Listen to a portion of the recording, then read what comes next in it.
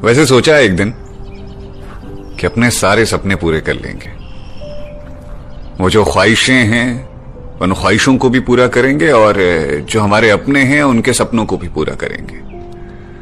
लेकिन तब तक एक लंबी लड़ाई है और हम लड़ेंगे आखिरी दम तक जब तक कि ज़िंदगी खुद ना कहे कि हाँ चैंपियन, जीत गए हो तुम।